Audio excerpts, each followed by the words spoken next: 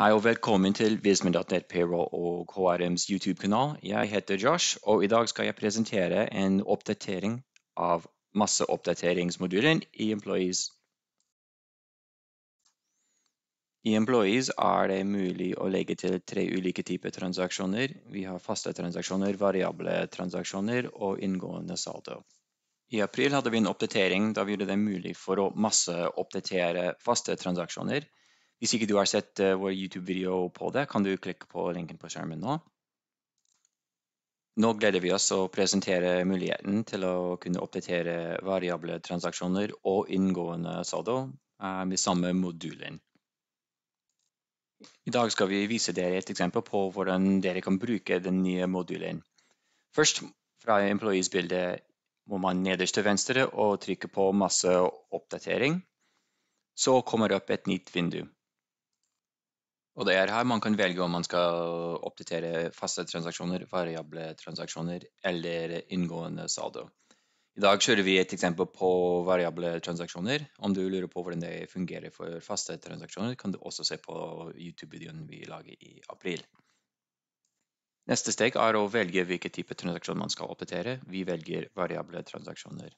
I det første steget så kan man velge hvilke paycodes som er relevant, og dette gjelder både eller alle tre, eh, faste transaksjoner, variable transaksjoner og inngående saldo, så må man velge dato etter transaksjonen gjelder fra, og hvilket paycode eh, som gjelder. Etter man har gjort det, eh, vil man også kunne legge inn verdi. Og det er verdt å, nevne at det er et utgangspunkt for verdien. Når du kommer, kommer senere i prosessen, vil du kunne redigere verdien du har lagt inn her. Da kan man trykke på neste knappen nederst til høyre, og i neste steg er det da man velger eh, hvilke ansatte eh, transaksjonen gjelder. Fra dette bildet kan man velge kan, kan man hooke av for å ta alle ansatte, eller kan man bruke søkfeltet overst hvis man skal søke etter eh, spesifikke ansatte. Um, så det er bare å hooke av eller ta bort ansatte som som er relevante. Og så når man er ferdig med at du har valgt riktig ansatte, er det å trykke på neste knappen. Nå kommer vi til et oversiktsbilde der vi viser de ansatte som skal oppdateres, og verdien som skal oppdateres. Her har du mulighet til å gjøre om. Hvis ikke den samme verdien gjelder for alle, så kan du gå inn til én og én, og så gjøre den nødvendige justeringen. Når du er fornøyd med at du har gjort alle nødvendige endringer, så kan du da trykke på lagre-knappen.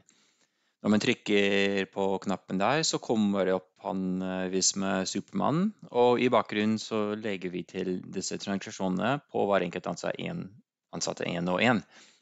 Når du ser at det kommer opp til 100% så har du sikker at eh, alle oppdateringer er lagret på hver enkelt ansatte, og du kan egentlig klikke på 'finish' da.